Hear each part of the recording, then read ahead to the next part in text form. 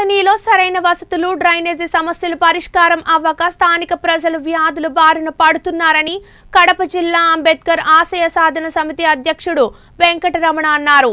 ఈ సందర్భంగా ఆ ప్రాంతంలో పర్యటించి దీనిపై మున్సిపాలిటీ అధికారులు తక్షణమే చర్యలు తీసుకోవాలని డిమాండ్ చేశారు.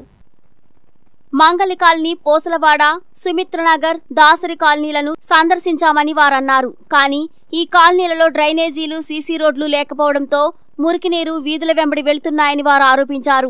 వీటి వల్ల ప్రజలు వ్యాధుల బారిన పడుతున్నారని వారు ఆవేదన వ్యక్తం చేశారు. ఒకవైపున కరోనా వైరస్తో ప్రజలు ఆందోళన చెందుతుంటే మరోవైపున మురికి నీళ్ళు దోమల బెడదతో ప్రజలు ఎన్నో అవస్థలు పడుతున్నారని వారు ఆందోళన వ్యక్తం చేశారు. దళితులకు ఎన్నో సంక్షేమ పథకాలు ఎన్నో విధాలుగా మేము సహకరిస్తున్నాం చేస్తున్నామని చెప్తున్నారు.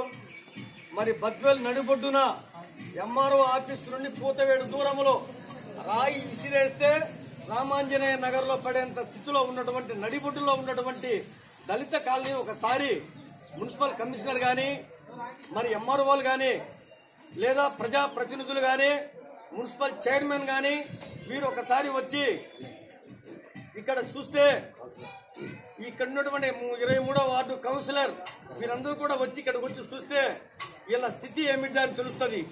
చూడు ఇక్కడ వరినాడు వేసుకోవచ్చు నడి రోడ్డు పైన.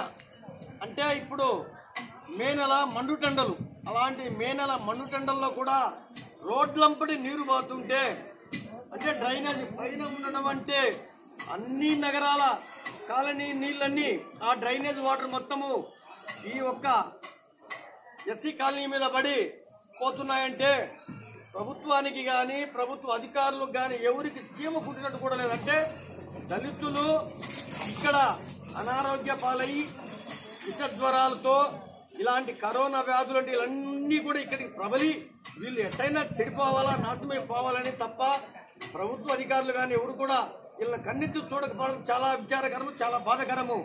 బద్వేల్ పట్టణంలో సిద్ధవటం రోడ్డు ఉన్నటువంటి రామాంజనేయ కాలనీలో రోడ్డు దుస్తులు చూస్తే చాలా అధ్వానంగా ఉంది. నిజంగా ఈ దళిత కాలనీలో డెబ్బై కుటుంబాలు ఉన్నప్పటికీ ప్రభుత్వ అధికారులు అయితేనేమి ప్రజాప్రతినిధులు అయితే పట్టించుకోవడం చాలా దారుణం. నిజంగా ఈ మురికివాడల్లో మన దళిత వాడలో పోతుంటే ఇక్కడ లేని రోగాలు కల్పించడానికి ఆస్కారం కల్పించేట్లు ప్రభుత్వ అధికారులు ప్రజాప్రతినిధులు వాళ్ళకు నిజంగా మానవత్వం ఉన్నట్లయితే ఈ రోడ్లు దుస్తులు చూసి వెంటనే యుద్ధ ప్రాతిపదికన ఇది రిపేర్ చేయాలి. ఈ రోడ్ల మట్టి ఈదుల మట్టి పోకుండా డ్రైనేజీని కట్టడి చేయాలని చెప్పేసి అంబేద్కర్ ఆశయ సాధన సమితిగా మేము డిమాండ్ చేస్తున్నాం. ముఖ్యంగా ఏ ప్రజాప్రతినిధి అయినా కానీ ఈ రోడ్డును చూస్తే మనసు చెలించకపో తప్పదు. ఎందుకంటే అరిగిన వాడ కాలంలో డెబ్బై కుటుంబాలు ఉన్నప్పటికీ వాళ్ళది ఏంది అరిజినల్ కదా అని చెప్పేసి కించ కించగా చూడడం వారి వీధిని పట్టించుకుపోవడం నిజంగా ప్రజాప్రతినిధులకు తగదు. ఇప్పటికైనా అధి- అధికారులు ప్రజాప్రతినిధులు ఈ రోడ్లు దుస్తు చూసి వెంటనే వీళ్ళకు డ్రైనేజ్ కాలం ఏర్పాటు వేసి చేసి